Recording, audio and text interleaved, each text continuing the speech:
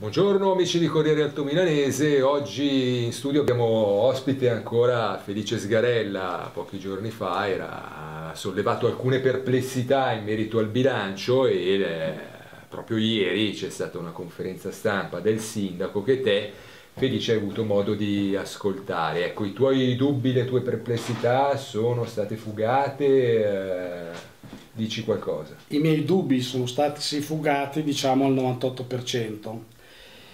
Per cui eh, la mia promessa di non andare in consiglio comunale nella prima eh, conferenza che ho fatto qui presso di voi è superata.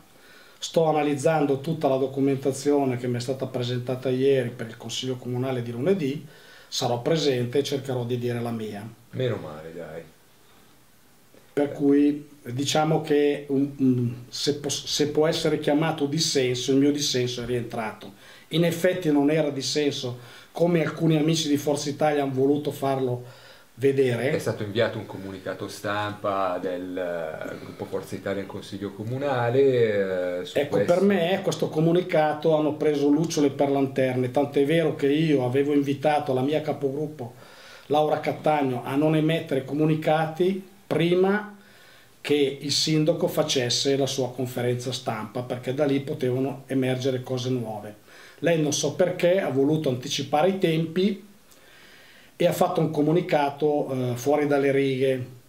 Io non ero contro il sindaco perché nel comunicato dice noi siamo dalla parte del sindaco. Io non ho mai detto che ero contro il sindaco, vuol dire che tutti appassionatamente siamo col sindaco. Il sindaco ha detto che è con Forza Italia, Forza Italia è con, è con eh, il, il sindaco io sono con Forza Italia e col sindaco, quindi siamo tutti assieme.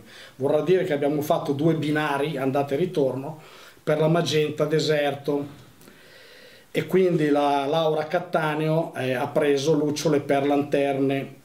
Infatti eh, si potrebbe far, parafrasare questo fatto. Io ho chiesto da che parte loro stavano andando, davanti, a destra, a sinistra, e lei mi ha risposto stiamo andando in aereo e questa la dice lunga su come certi politici siano maturati nel tempo. dovrebbe fare ancora un bel po' di tirocinio e stare un po' più vicino a Sgarella che per il momento è coordinatore, poi vedremo se lo rimarrò o non lo rimarrò coordinatore, per poter forse imparare a fare un po' la politica, perché così invece fa solo pettegolezzi e basta. Va bene, ecco, i numeri comunque quei pochi che hai visto, I numeri che, opere che, eh, I numeri che io ho visto mi soddisfano abbastanza. Eh, il sindaco ha abbastanza chiarito che i soldi per fare via Garibaldi ci sono, che l'intervento su Piazza Liberazione verranno attinti dal, dal fondo opere di straordinaria e ordinaria manutenzione, per cui io devo chiaramente dirmi soddisfatto a questo punto. Va bene, allora ringraziamo Felice Sgarella, sarà presente al Consiglio Comunale del 26 eh, di febbraio e grazie a tutti, arrivederci.